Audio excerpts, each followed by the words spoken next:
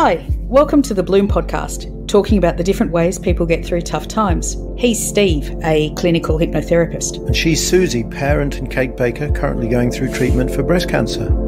Today we talk about talk, why and how therapy can help. Steve tells us how he became a hypnotherapist. I find out what's been giving Susie the heebie jeebies this week. And we have a very special guest, Dr. Mark Cross. The self confessed anxious shrink. He gives us some great advice on how to stave off anxiety. And confesses that he finds it very hard to take his own advice.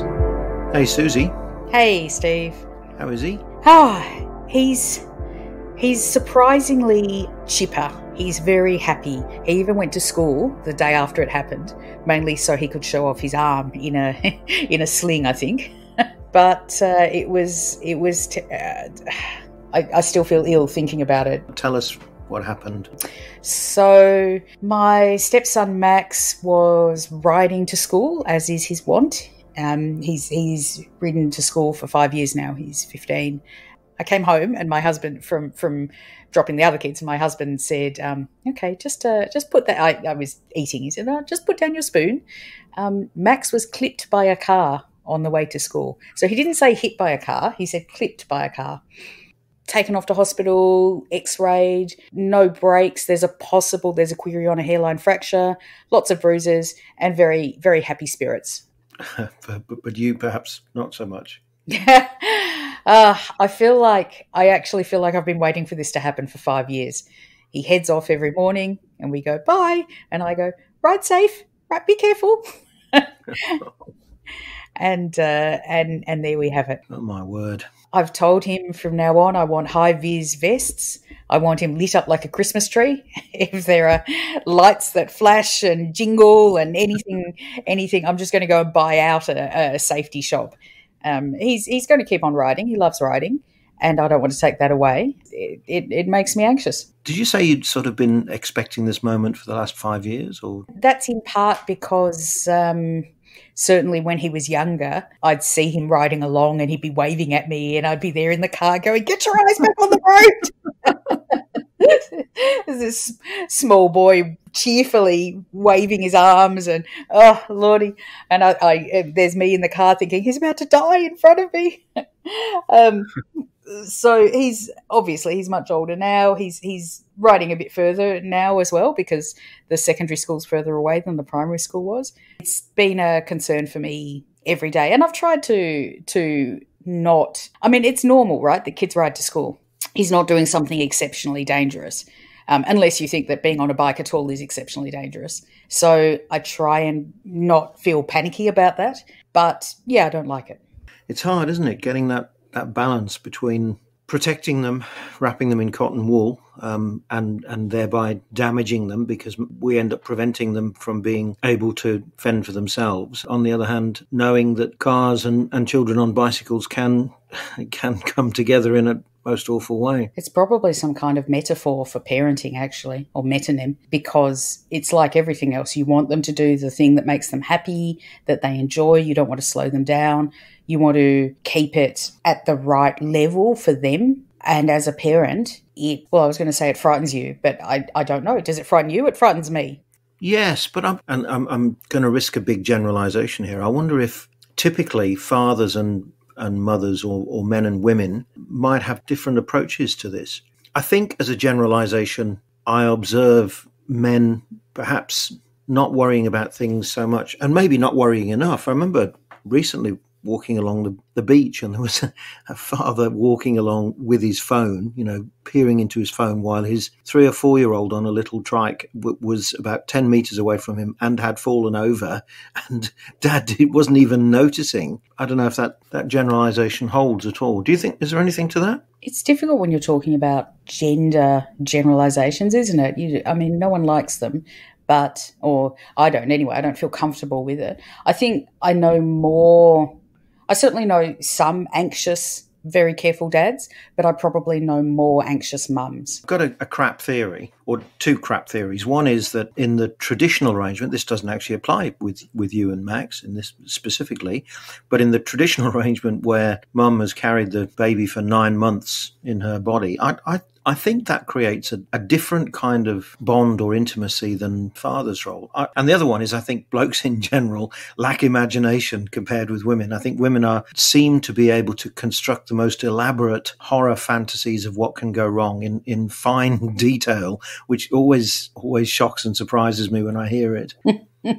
I mean, you're right that the, the physiological explanation doesn't work for step parents or adopt or stepmothers or adoptive mothers either. Those the non-gestational mothers. Do do blokes lack imagination? My imagination seems particularly well placed to visualize all the horrific things that can happen to my children. So I'm not using this this fantastic imagination to write novels or, or paint pictures. I'm just using it to picture the the uh, the accident prone children. Why torture yourself with something that may never happen. I know you're not doing it. I'm not suggesting you're deliberately doing this, but what what what's the kind of, if you like, the evolutionary advantage of it? Why do why does it happen? I am stuffed if I know. I mean, the the the only possible evolutionary advantage would be to make a parent more careful, I suppose. I'll just say at this point, I really try and fight it and try and go with what's reasonable. I mean, you notice that I'm not saying Max never gets to ride his bike again. I'm, mm. I'm saying that he should. We need to up his level of uh, of safety equipment and and so on. And we've already done all the obvious things, like made sure that he's he's rides on on quiet streets and all that kind of thing. If my inclination is to go all out and have no children ever leave the house ever again, I know that that's not reasonable. I'm trying to find that middle ground, letting them stretch themselves while not overstretching me. But back to what is what is the purpose of worry? I don't subscribe to magical thinking. I don't think that the more I worry, the less likely it is to happen. Or, and I know perfectly well, by the way, that the things that you worry about are almost always the things that, not the things that actually happen. A couple of years ago, my daughter got quite a bad concussion. She was out of school for six weeks. She was, um, it was very frightening. Well, she got that just just being on a swing in a playground. So again, there are times she's she's climbed trees, she's done things that I'm screaming on the inside, um, and sometimes on the outside too. The time she actually injured herself quite badly, she was just in a normal playground doing normal playground things. I know that the worry doesn't protect them. I remember a Polish person telling me that it, it, it's very much part of the Polish psyche not to think about things turning out well, because almost by doing so, you're cursing them not to happen. You know, logically, that doesn't really work. You can sort of see that. It's something about, you know, counting your chickens before they're hatched and, and you know, I suppose the obverse would be would be true as well. That if you imagine these worries, then at some level, it's going to it's going to help you protect them from happening. I'm not sure what to say about that. I don't think that that is what happens in my head. Maybe it does for other people. For me, the the anxiety that comes is not particularly. It's you know what? It's not welcome. I don't think it brings protection. I don't think it really helps me prepare particularly. I remember um, reading that the kind of person who standing near to the edge of a very high place and has a, a flash thought, perhaps jumping or perhaps falling off. Um, walking along the, the street and you see cars coming in the opposite direction and the thought occurs to you that if you if you just stepped into that traffic that actually that sort of person is less likely to do it apparently. That it that its its its purpose seems to be something like warning you against doing things by making you aware of the possibility of them.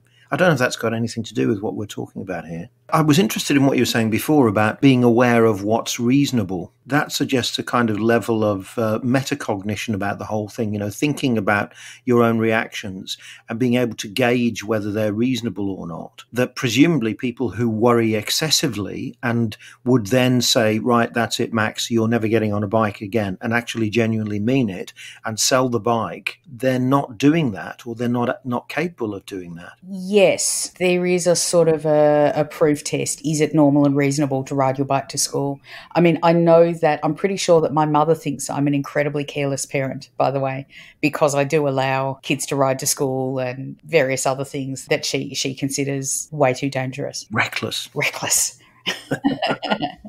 riding off to school without a care in the world. That must play into how you, your parenting style, you must have got it from somewhere. They, these things don't come out of the ether. And presumably how you're brought up must make a, a, difference. I mean, it could be that you end up reacting against the way that you were brought up. You know, if you were brought up very, very strictly, you might allow your children a lot more leeway or vice versa. So it doesn't, it's not, doesn't necessarily mean that you're, that one is fated to repeat, but it must have an influence, mustn't it? Oh, I think so. I mean, I, I, I maybe I come from a long line of anxious mothers who've, who've worried at their daughters down the generations.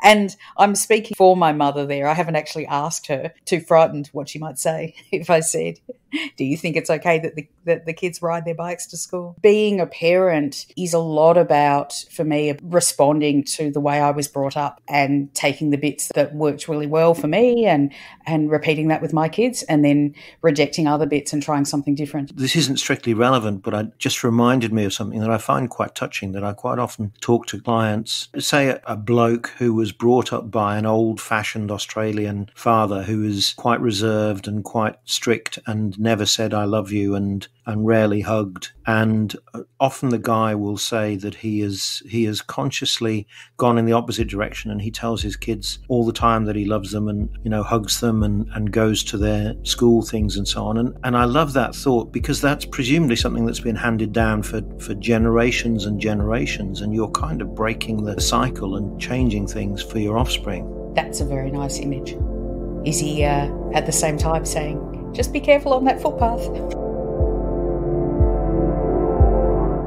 Hey Steve. Hey Susie. I've been reading Mark Cross's book Anxiety and it's it's great. I really like it a lot. I just came across this bit there are more than 150 types of talk therapy. what is going on there? And I'm asking you because presumably what you do is is classified as one of those. As a hypnotherapist, yes, it certainly is. So what are the other 149? Do you want me to list them alphabetically or by school or grouping? How long is this episode going to be? That's an amazing thing, isn't it? And I, have heard much higher figures than that that gives us a clue that there really aren't that number of different kinds of talk therapy. There are some differences. You can use different techniques for different presenting issues. But I do think that there's been such a manualization and such a creation of schools of thought and approaches. And they all follow the witch doctor medicine route, which is to say there are 41 active ingredients and nobody knows what the hell they are. But so long as you do all of these 41, it seems to work. So do all 41 and don't challenge or do anything different. Do you know the joke, Witch Doctor? no. no. and the answer is no, just an ordinary GP.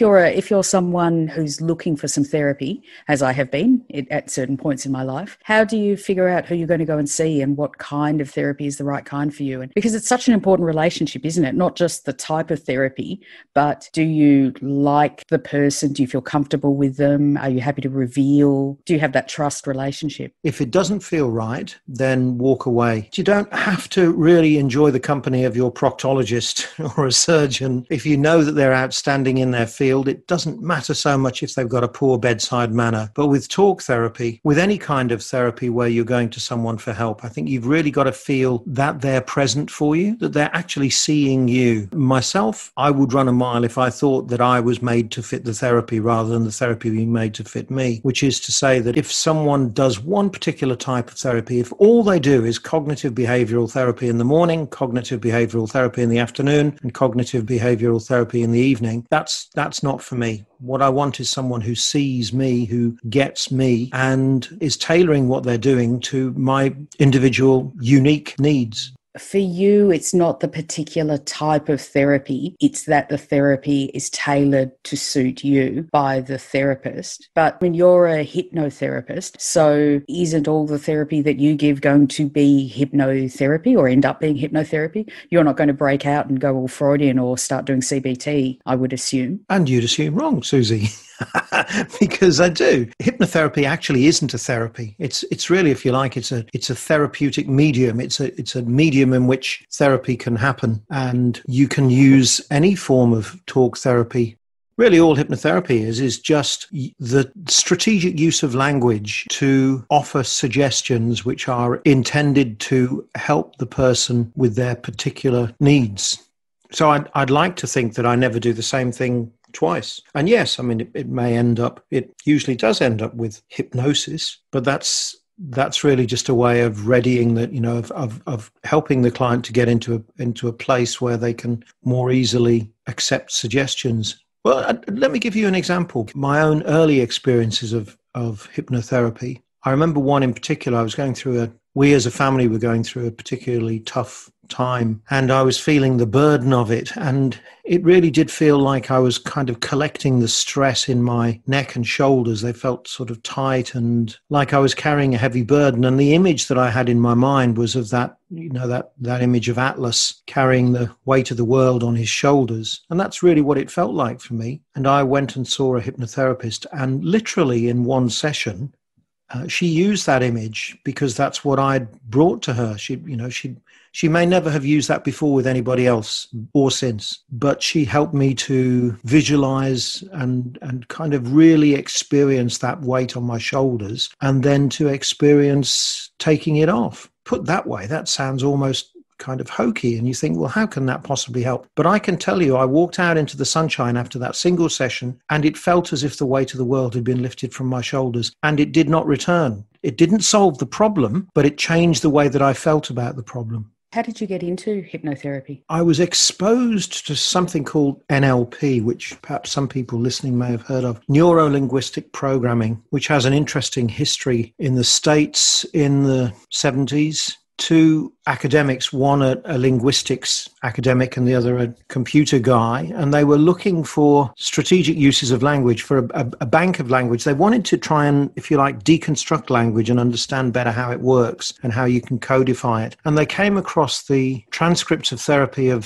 three therapists Virginia Satir, who's a very well known family therapist, Fritz Perls, who developed uh, Gestalt therapy. And this weird cat called Milton Erickson who just captivated me. I'm the sort of person that always wants to know where these things come from. So I started following back this NLP and, and then came across Milton Erickson, who is a quite extraordinary character, was. He died in 1980, an American psychiatrist who used hypnosis. And that sort of brought me up hard against an intellectual blind spot or prejudice that I had. For, for somebody with an, a doctorate from Oxford who's supposed to be able to think for himself, I suddenly realized that I had two ideas, two things going in, on in my head about hypnosis. One, I don't know anything at all about hypnosis. Two, but I do know that it's bollocks. And I realized that I needed to find out more about hypnosis so that I could at least satisfy myself that it was indeed bollocks, or maybe that there was something to it. Because if this Milton Erickson cat was using it and getting extraordinary results, and there were many, many people who were reporting over the years that they'd been helped greatly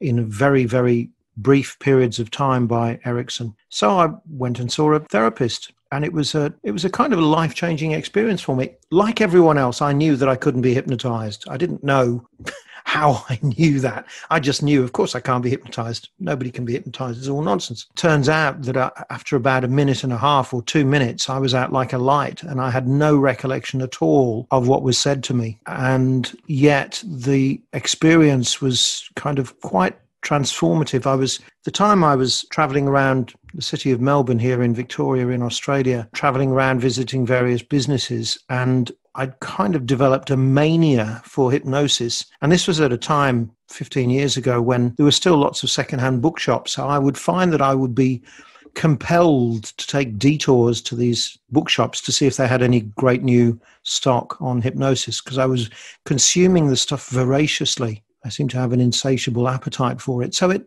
and I remember saying to the hypnotherapist, because she said, Well, is there anything you'd like to work on? And I said, No, I, don't think so, actually, really, not just at the moment.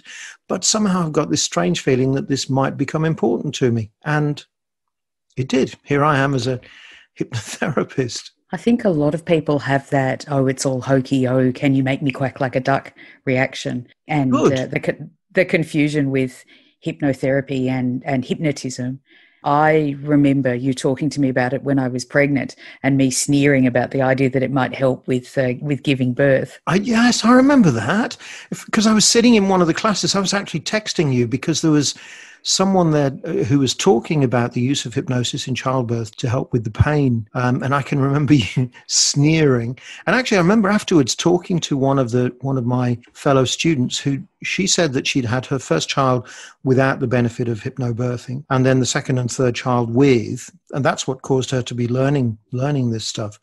And she just talked so convincingly to me about the difference that's a whole other subject. I reckon we might do an episode on this sometime on, on hypnobirthing because it's a fascinating subject. Well, maybe an episode on birthing, actually.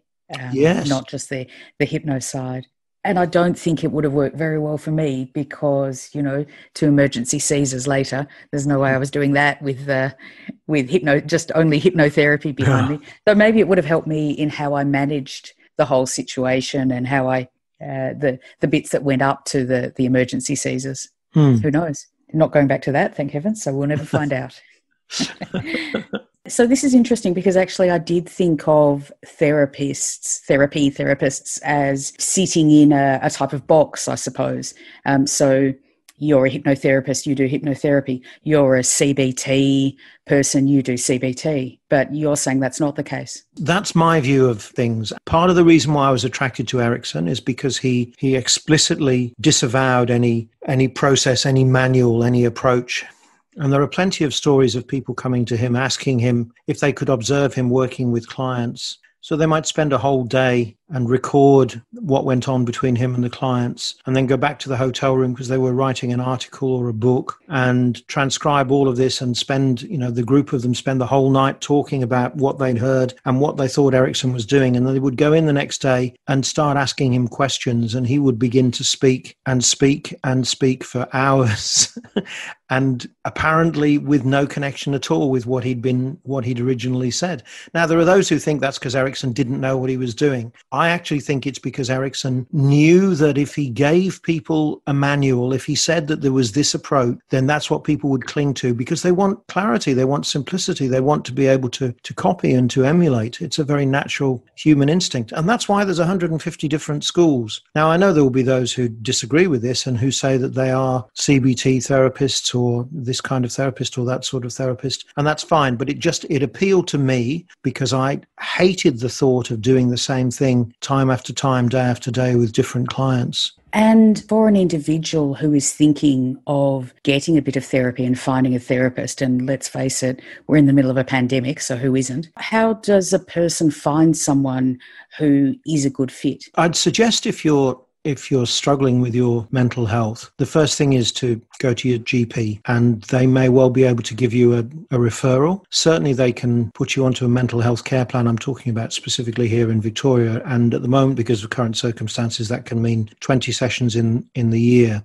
But if you know someone, and you almost certainly do know someone who's been to see somebody, and you like you, you like and trust their their opinion, then I'd be inclined to ask around because, as we were saying before, that that relationship is so important that you've got to feel comfortable. You've got to feel that that person really, as I said before, sees you and is responding to you as an individual and is not just going through a, re- a repetitive process. So ask around, look at their website, and as I said before, do not be afraid to to walk away if you're finding it's not working for you. And you should know pretty soon. You know, you might it might take you perhaps several sessions, but as soon as you begin to feel that this is working, then you can commit and really get down to work. And as soon as you really feel that this is not working for you, then it's probably not that it's not for you. It's just that this person is not for you. I like a bit of mental mental health support. I do. I don't think people should should wait until they're in extremis. It's a bit like going for a massage for me, just getting to to sit and and uh, yes. uh, and talk and talk about myself. I think it's it's a really important thing for anyone. Yes, it's becoming, I think, much more acceptable. Even in the 20 years that I've been in Australia, it's become much more acceptable to go and get some help in this area. And I think that can only be a good thing. I actually think that it's replacing something that would have been done in other ways or is being done in other ways in other cultures, in other ways of living. It may not be entirely disconnected from the fact that we do not respect our elders greatly in uh, how do I express this? In I was going to say in Australia. Some cultures in Australia do but a lot of cultures I think the culture that I came from um, a sort of an Anglo culture. Elders are not respected. Their wisdom is not sought we're all so busy these days and we manage to occupy ourselves with so many things and yet the research is clear that some things that seem so obvious and seem so trivial like getting out there and being in nature, just getting some exposure to trees and wind and the sea and the hills, the mountains, that makes a real difference. It makes a really big difference to people and particularly to children.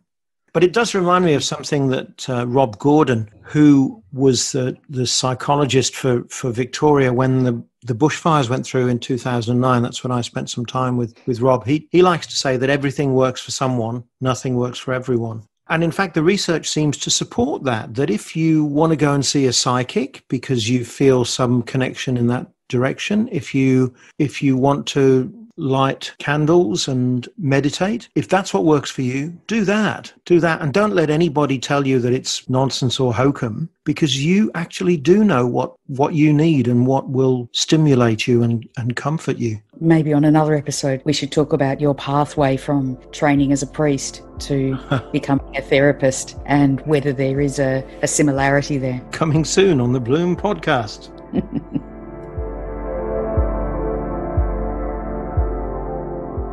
Welcome, Mark. Thanks, Steve and Susie, for having me on your podcast. How do you describe yourself when people ask you, when they ask you this question, Mark, how do you describe yourself? How do you answer? I always start off with my title, actually, because I've got used to it after 30 years. It was always funny to, to think of myself as a doctor, but I, yes, it's part of my whole life now. So I say, yeah, I'm Mark Cross, I'm a doctor, I'm Australian, and of course, South African born um, a gay man met his husband in John, who who I, I, met in London. We've been together twenty years, and a father. I never thought I'd say that. Actually, it's it's quite incredible to be able to say that. Uh, we have two sons, ten and seven. Clem's just turned ten, and I suppose that would be it. And, and then saying, okay, I'm a psychiatrist and an author. Uh, and that makes it sound like such a, a, a, wonderful, comfortable journey. And yet it's been anything but that. So yes, I had trauma, but but again, I had an idyllic childhood on one level. Apart from the fact that I was anxious and and knew I was different, uh, you know, I wasn't beaten or bullied or anything dreadful. Just had to make my own way around who I was um, with its own issues. But you know, South Africa in the seventies, when I was growing up, you know, we we rode our bicycles, we went outside. It was it was a, it was a different era, of course Although I did present, I presented at the Workplace Wellness Festival yesterday and talking about anxiety. And when I was about five, because people ask, you know, when did you first know you were anxious? I, I developed night terrors. And my father, around that time, five to six, lost his job betting on stocks that didn't bear as much fruit as he'd hoped. And we had to move into a boarding house and then to my grandmother's house and I started bedwetting and I developed a, a, specific reading disorder. And of course, I'm an avid reader. I mean, anyway, and of course, the teacher made great fun of that. So I don't, I don't miss the 70s, put it that way. Do you think the anxiety was a result of, of that, the, those experiences, or do you think it's in, in the blood or? I think there's an inherent uh, anxiety. You know, uh, I, I dedicated the book to my mother who's living in South Africa now with my father and her mother. And both, you know, there's a very strong family history of anxiety. There's also a strong family history of bipolar affective disorder as well as huge alcoholism on both sides. And of course, you, you look back as a psychiatrist, you know, medical doctor, I look at my medical history. It was never discussed, but my mother had two first cousins suicide, and I had a first cousin suicide. Her brother, my middle uncle, just died. Uh, he had bipolar. And when you when you look at it like that, and there's always been a manic quality to my anxiety, I, I also I looked at her, and that wasn't discussed, you know, when we were growing up. And I looked at a photo of the cousin who died. He was a beautiful man, and I think actually it's been told to me he, that he was gay, and there was never so that that was the reason he killed himself. And Mark, how do we, as as we're all three of us are on on this discussion of parents, how do we make sure we don't repeat that that pain down the generations? How do we protect ourselves and our, our children from it? The short answer is don't be assholes to your children. You know, when we think about the 70s, and I think about my uncle as well, he was always making disparaging comments so uh, to his kids. And when you look at how you bring up kids and often people go, "Oh, you can't prevent mental illness." Well, of course you can. It's so much. So much of it is preventable, and it's just about letting your children be who they are and not forcing them to be somebody they don't want to be or don't feel ready or right to be. Going with the grain, I suppose, rather than trying to shape them as you as you want them to be. Don't try and beat out the you in your child. And and, and it's so funny because my older child is mine biologically. And he's got a bit of attention issues and he won't stop. And oh my God. And every now and then I get a bit short tempered with him. And I was on the phone to my mother the, the other day and I said, Oh God, Clement's doing this and he's doing that. And she just laughed. I went, What? She said, Oh my God, you were the same. How dare you, mother? so, and and I remember, so funny. I remember eating at table and always drinking water. It used to drive my father nuts. And now Clem does it. I keep on saying, "Darling, just eat, and then you can drink your water." And I suddenly I had this deja vu moment. I'm going, "Oh my god!"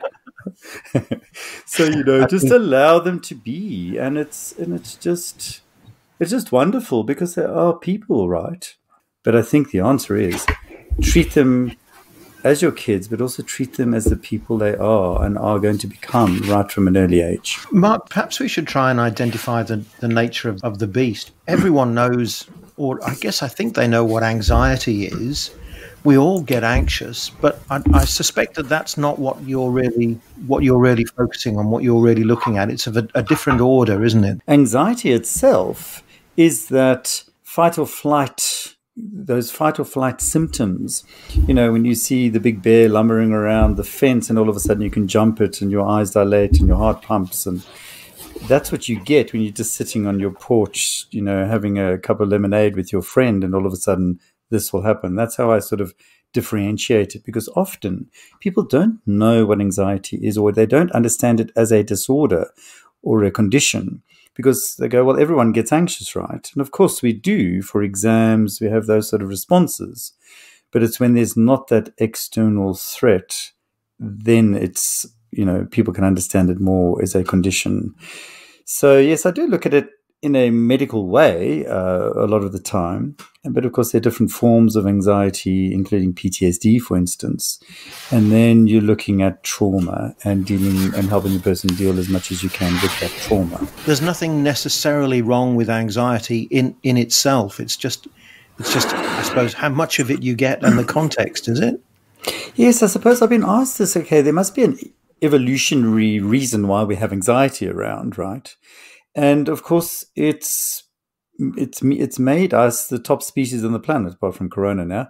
But it's basically led us evolve, it led us to evolve as a dominant species.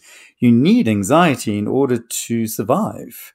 Unfortunately, it's that survival anxiety kicks in when you don't need it. Then it's horrible. Um, that's one of the ways I look at it, I suppose. And of course, anxiety has also, it's not all horrible. It's allowed me or made me the person I am and driven me too much at times because you know that's and then you get exhausted but it, there are some positives to it and you, are unusual in in that you're a psychiatrist who uh, is very comfortable or, or at least you're willing to talk about to talk about this when when so often I think we perhaps as lay people expect our professionals to have this reserve and either to be perfect or at least to give the the illusion of, of being perfect. Well, I'm unusual in many ways. You're right, um, but.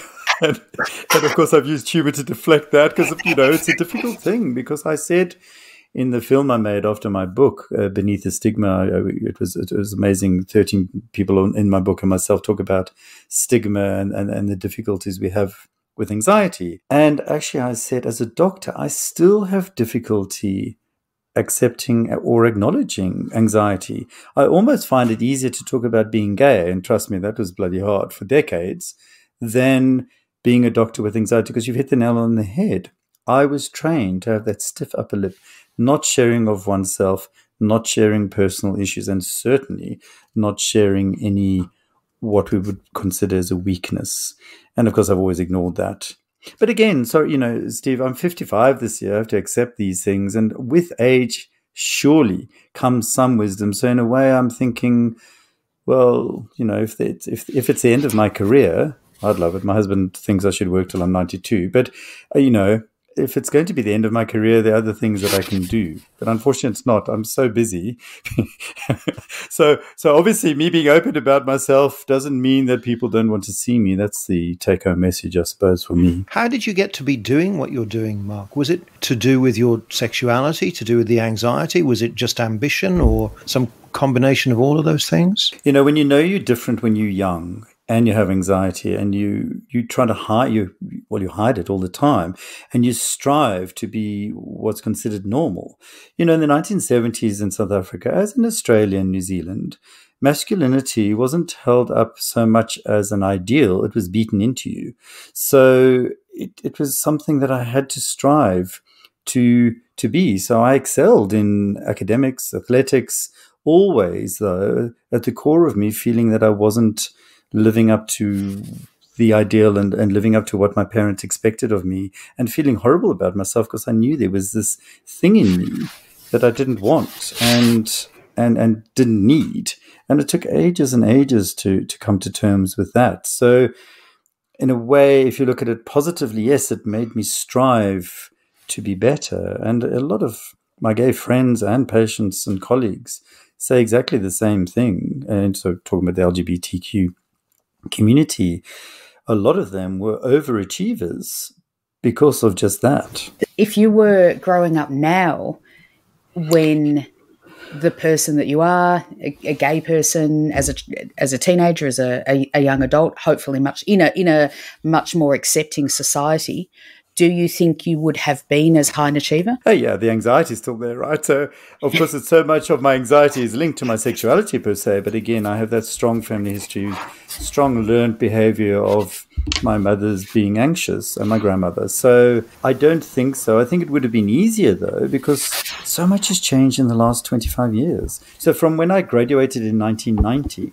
that was the year the International Classification of Diseases, so the World Health Organization tome of disease classification, took out homosexuality as, a, as an illness. It was only in 1990. and, and, and so I went throughout my entire medical training with homosexuality not only being a criminal offense, but it was a mental illness. So that didn't help at all, obviously. That's a, a, shocking thought that only 30 years ago it was still there was something wrong with you if you if you if you were gay. In 1990, when I graduated, and you probably worked out by now, I wasn't a brilliant student. I was involved in student politics and um, know, was the president of the Work Avoidance Society. Um, I attended a board of faculty meeting. So I went to the University of Cape Town. So one could argue that it's, you know, one of the top universities in Africa and it's you know wonderful and a great medical uh, faculty. And at the board of faculty meeting, the then professor of surgery, Arsehole Terblanche, um, stood up and castigated the then openly gay professor of infectious diseases and immunology, who was saying quite clearly, HIV is this huge issue, people. We need to deal with it. And the professor of surgery stood up and said, It's God's gift to homosexuals. In the meeting, in the meeting in 1990, and after that, the government of the day was still held by puritanical principles, you know, the apartheid government. And the Afrikaans Women's Movement, so much, much more powerful than our Country Women's Association, who knows at the time, would not allow condoms to be advertised because it would lead to loosening of morality. So, you know, people don't understand that. That was 1990. You've come a long way, baby. You asked earlier, am I more open and is it easier? Yes, I think being open and confronting these things and talking about them, but I was obviously also having a loving family and support and speaking to people like you guys and, and, and showing the world that we have changed. We are a better place Mm. Although there's still hate and there's still difficulty and people are still suiciding. You know, our indigenous youth, our, our young brothers and sisters, if they're LGBTQ, are 10 times more likely to kill themselves than the, uh, you know, the average population. So there, there's stats like that still horrible. There is there is so much badness still in the world. Sure, but you know, uh, and it was a dreadful time. Don't get me wrong. So you took, looking at my book, it took me much longer to write than I should have. Also, I didn't quite know where I was going, but we got there. But at the beginning, when I started writing it, was the marriage equality so called debate and postal vote. And so I had patients, colleagues, friends, all crying in my office on the phone. And of course, I took a lot of that in because it was a dreadful time to have ourselves so exposed and, and discussed. And I'm glad my, my kids are too young to actually have gone through all that. But you know what? 62% of the voting population in Australia voted. Let's, I mean, that's still amazing. So every now and then when I go into dark places and we talk about dark things, I go, you know what? Two thirds of the country, two thirds of the country believe in equality. And, you know, Australia is still a wonderful place to live and there's, there's hope. Mark, what does the evidence say? What works if for people who experience anxiety in the way you've been described? What do they do about it? I think the first step is to acknowledge it. I mean, I think that acceptance, because self stigma is just the worst kind of stigma, as I keep on saying. It's taken me a long time to get to that point. And so, with acknowledgement comes acceptance, and you can then get help. And you don't beat yourself up about it and project all that horrible stuff onto your loved ones. And, you know, that's, that's what happens. Or then you drink or take drugs or run from it for so long when you finally say, hey, this is me, this is what I'm dealing with, I can get help. And then, you know, the journey's better. You're halfway there almost. And I think I always look at these sort of questions, I'll answer them like this. I look at a four pronged approach to treatment, right? So your biopsychosocial, so the bio is the medical stuff we talked about a little bit earlier, your inherent vulnerability, including your genetics, family history, and then I always look at medication there. And medication has a place in a holistic way. The psychological is okay, what caused you to think like this? Let's help you unthink it in a mindful way, help you cope with the day to day living issues by formulating strategies. And that's where mindfulness comes in. Stay in the present, focus on what you're doing. that underpins most modern focus therapies, actually. Social, you know, I can't give someone a pill if they're homeless and getting beaten up. So you've got to look at those things. And when you can, shift and change things when you can, including there, I look at drugs and alcohol and, you know, using it mindfully and accepting that it's not your friend and it's not actually helping you long term. And then the fourth arm is the lifestyle stuff. My holy trinity, as my patients call it, in every session, I discuss diet, sleep, and exercise. Well how do you actually do that? If you're if you're sitting there thinking i really need to be exercising. I know i should be exercising. I i, I should not be eating this donut. How do you how do you move beyond that? How do you get there? You cannot let shame and guilt. So if you're having that donut you go hey i'm really enjoying this donut in a mindful way but tomorrow i'm going to eat more healthily and plan it uh, you can't see my arms but I, I go on, the, on this side i'll give you the evidence and we'll talk about the theory and we all know that McDonald's is bad for us, but for goodness sake, we've got to live as well. So it's a balance. And I, at the risk of sounding like a, you know, a yogi guru, which I'm not, I look at balance. So on this side, I go, okay, how can we apply to you? What do you think you can do to shift things for yourself? And hey, this takes a long time sometimes. But every year now for seven years, and you've got to lead by example, right? John and I have done a what we call Feb fast. So we give up a whole lot of stuff. The first year we gave up caffeine, nearly divorced each other. Don't do that again. Mm. Don't give up caffeine. But give up sugar, meat, dairy, and um, alcohol. And you know, by the end of the month, you measure liver functions go down, cholesterol goes down, sleep improves, anxiety improves, and you feel slimmer. And then, of course, we start drinking again. Oh, there you go. But hey, each year I give up something. And so next month will be an anniversary of giving up meat. I haven't had meat as a South African boy. I have not eaten meat for a year. And we can all do it just at a certain time of our lives. We can go, you know what? I want to take a little bit more control, but it has to work for you in a positive way. You go, I'm going to get out of bed when the alarm goes off. I'm going to do a few stretches five days a week. I like the 5 2 rule. I like the intermittent fasting. So you don't have breakfast straight away, go for a little walk, drink some water, eat later, eat somewhere 10 ish to 6, 7 ish, and nothing in between. Everyone can do that. Cut down on sugar and processed food but on the weekends, you can let yourself go a little bit. There you go, Susie. There's your formula. Are you happy with that? You, you ready to get going? I, I am, and I, actually, I've been doing that. Uh, Exactly that. That eating between ten and seven lately, um, and um, I was just thinking, I wonder if I agreed to give up sugar if I could get my husband to give up alcohol. But I don't think, I'm not sure who it would be more painful for. Small steps. But again, I started just by moderation. You know, everyone talks about the old wives, right? They knew what they were talking about. The old wives said, you know, everything in moderation. So that's the way I look at it. Including moderation. Including moderation, yes. There's this group of um, rich people in the east coast of America, and they live in this compound, and they've got everything the money can buy, and they're all slim and tall, and they get chefs to come in and make them a glop every day, and they don't go out, they don't drink, they don't smoke, and they all believe they can live to 120. So I go, good for you, but oh my God, what a boring life. You won't live longer, but you'll feel as though you do. yes, exactly. and I don't want to, I always sound like I'm plugging myself, but you know, I'm doing this funny little vodcast um, called The Anxious Shrink. Obviously, the anxious shrink, neurotic shrink, you know, it's all about being neurotic, right? Um, that's on Facebook. We're doing live on Thursdays now. Actually, that's what I'm doing after this at 7.30. So if you want to have a little squiz at that, it's actually quite fun. And we're reaching quite a few people, and it's about staying connected in this time. And I think that's a lovely thing. Like you doing this, I'm doing that.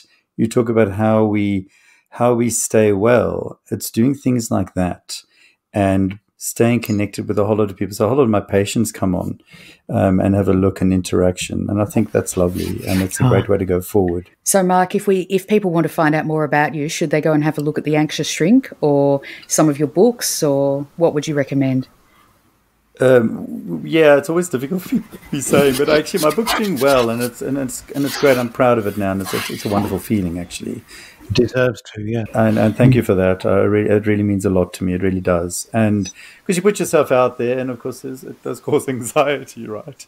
Um, but I've had nothing but positive response. Um, but hashtag the anxious shrink. So we, we, we're going to take that uh, a little bit further. Um, so if you want to look, there's some past episodes on YouTube, but actually we're doing weekly thing now on, on Facebook. So it's only 20 minutes. What a what a great idea for connection at this time. I think is what what everyone's striving for.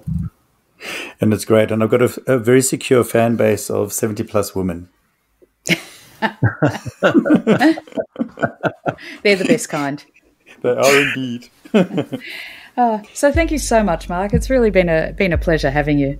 No, thank you so much as well for having me. Thank you, Mark. You guys are you guys are really lovely.